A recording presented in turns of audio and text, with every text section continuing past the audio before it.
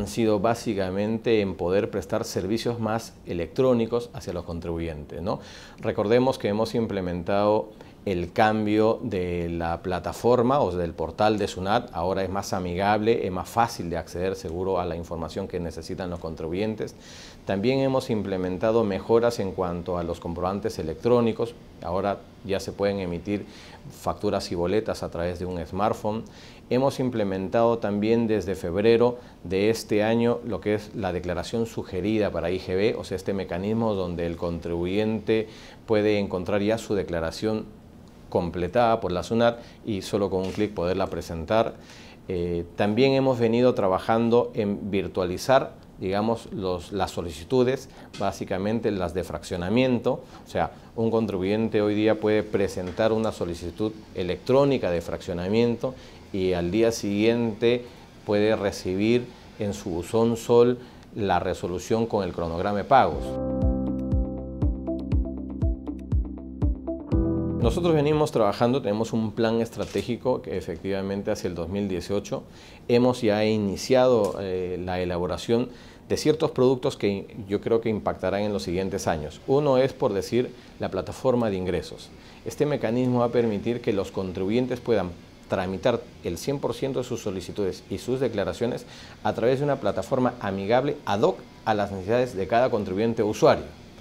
Hoy, si uno quiere presentar una declaración, probablemente tiene que saber qué campos llenar y qué campos no llenar de toda esa declaración y por ende incurre en costos contratando a profesionales que lo puedan asesorar.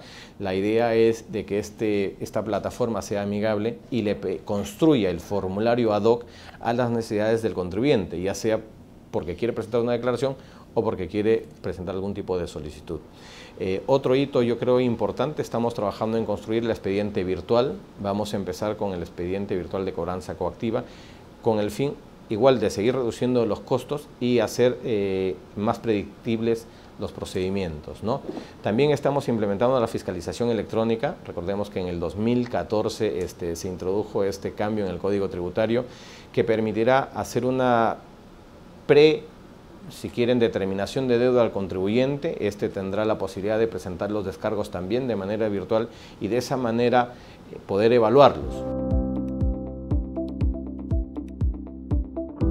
Sí, la idea es generar esta cultura de que las notificaciones le van a llegar al buzón electrónico, pero recordemos que además nosotros hacemos un servicio donde a su celular también le pueden llegar cierta información, ya sea por correos eh, y persona, a través de sus correos personales o ya sea a través de mensajes de texto que le generen llamadas o alertas respecto a la información que está recibiendo en su uso. Se mantiene la meta de 94 mil millones para este año. Eh, ello, eh, a pesar de que se ha incrementado el monto de las devoluciones, nosotros este, habíamos proyectado este año un menor porcentaje de devoluciones, sin embargo ahora los nuevos datos nos dicen que serán algo de 15 mil millones, estos son 3 mil millones más de lo que se devolvió el año pasado, con lo cual yo te podría decir que la recaudación bruta en general este año se proyecta crecer en algo de 7 mil millones.